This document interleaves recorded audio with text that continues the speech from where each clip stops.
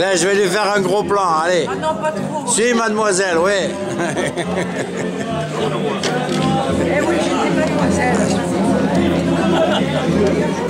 Eh